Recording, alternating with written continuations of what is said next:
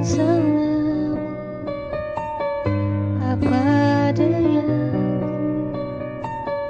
Mungkin benar cinta sejati tak berpihak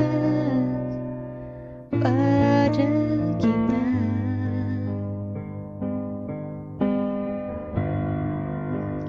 Kasih